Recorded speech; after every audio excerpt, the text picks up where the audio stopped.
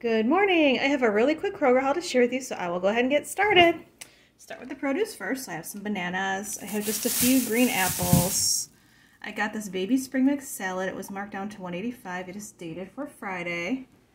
I have, well, I actually have five half gallons of milk. I just put the other ones away, but um, these were 129 each with the digital coupon, which is what about 158 or sorry, 258 a gallon. I wish 158 a gallon, but Anyway, 258 a gallon, so that was a good deal. It was limit five, so I got five of those.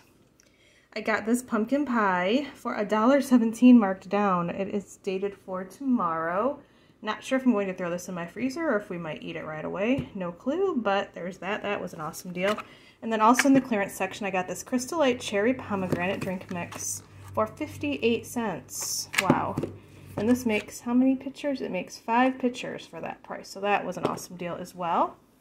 And then I just needed some of these larger bandages. So I got the Kroger brand Advanced Antibacterial Strong Strips bandages. They're heavy duty protection, extra large size. And then my husband takes this low dose aspirin and he was running low, so I got him some of that. Um, and I had 30 cents off of this with a digital coupon and 30 cents off of this with a digital coupon. That is my Kroger haul. Thank you so much for watching. Likes and comments are always appreciated. Please subscribe to see more hauls and other videos. And I will be back with a grocery haul tomorrow. Bye.